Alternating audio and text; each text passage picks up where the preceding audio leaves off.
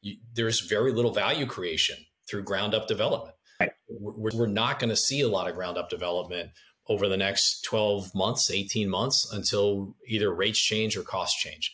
And one or the other has, has got to happen in order to uh, uh, you know inspire more more ground up building. I, I think we're going to see a pretty big pause on that.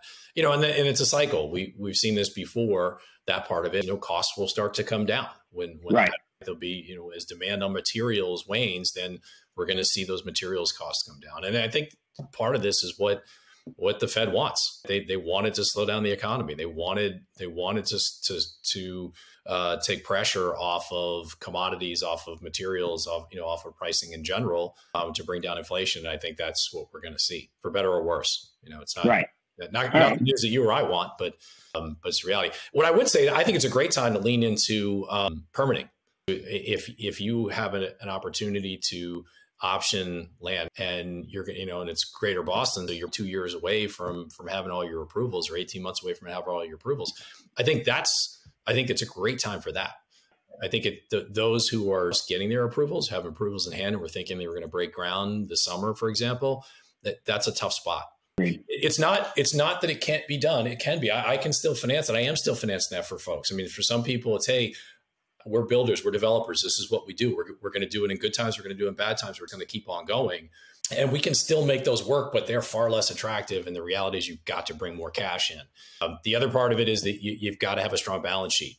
Lenders are uh, up and down and all across the, the, the capital market space. Um, lenders are going to be or are much more critical of um, of, who, of sponsors of their balance sheets. They want to see more liquidity than they were requiring. They want to see mm-hmm. Worth. They're going to challenge net worth a little bit more. They're going to challenge you know what values people are carrying on their on their personal financial statements for their assets and and have some you know there are going to be some difficult conversations around you're carrying this as a, at a four cap you, do you think it's a four cap? Shouldn't this be a five in today's market, et cetera, et cetera? Right. So those are going to shift, and, and that's already starting to happen. And then, and then last but not least is that everything costs more.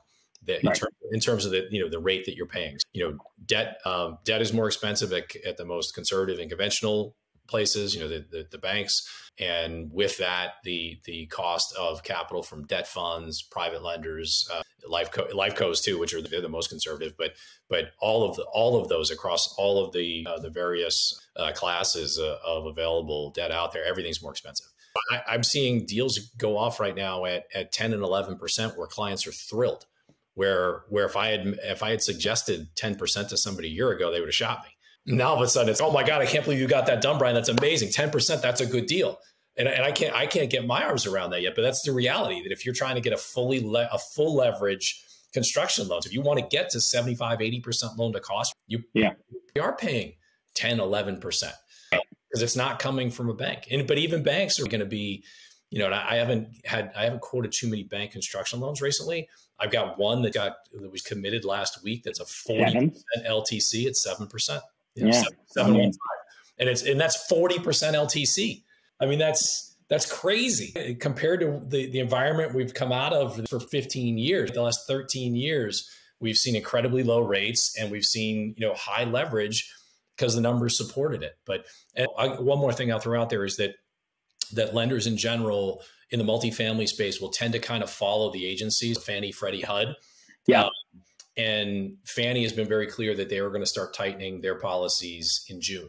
If you've got, if somebody's got a, a, a looming refi on a multifam, you know, call me, call call whatever mortgage banker you work with, call your bank, whatever it is.